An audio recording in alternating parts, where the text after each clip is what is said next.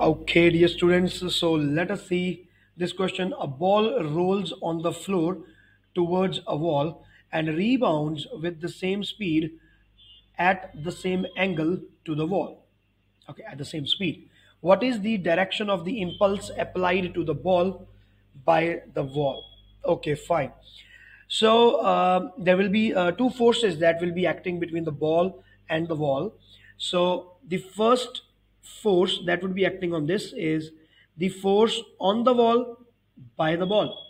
And there will be a counter force equal and opposite and that will be the force on the ball by the wall.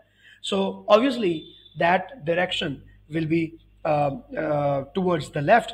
So as per our options are concerned, I can very well say that yes, D will be the answer to this question. Quite easy. This should not be a problem to you. Even if this question is a problem to you, please do let me know even now if, if it is a problem even now. Okay. So all the best.